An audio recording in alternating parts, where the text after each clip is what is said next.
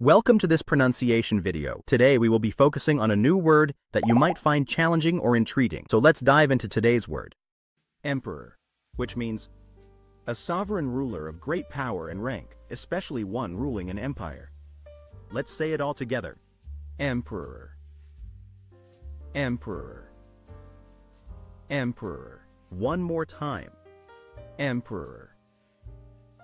Emperor. Emperor.